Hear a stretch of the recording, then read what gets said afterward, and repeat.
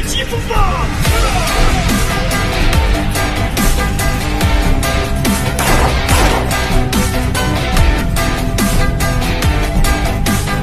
Guys, I asked the store owner if she was scared when she grabbed the suspect's gun. She told me a little. That was because at the time she didn't realize that that gun was real. Look at you, Wayne. It'll crazy. They did realize things to get you want 18 feet or 80? well, so crazy. I don't like do that. I never do that.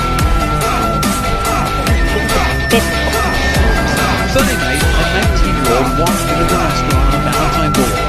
You're not proud of face, right? And then, and then the guy so you, so old, and show the proud picture. He had a gun in his hand. But what happened next was shocking. Like he turned near told me, open the door. Kachu wasn't just about to hand over the money. I fight with him, and then me coming, and then he, I got the gun. You can see from surveillance video, she not only fought, she grabbed the gun and didn't let go. At the same time, Lynn grabbed a huge knife and came running out of the kitchen. Me fight with him, and he, he fight together, and then me cut him, and he leave. A short time later, police found 19-year-old Jabri Brown down the street.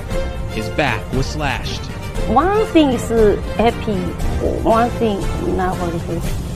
Why? What do you mean by that? Because he just 19 years old.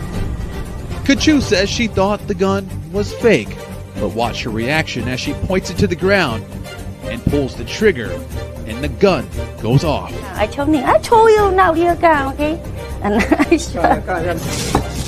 The husband and wife are back at work, trying to put the incident behind them. But with all the craziness, their thoughts are with a teenager who sits behind bars. I hope he can change something.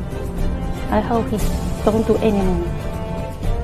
Now, Brown is still in the Norfolk jail. He'll make his next court appearance next month. In the newsroom, Jason Marks, 10 on your side.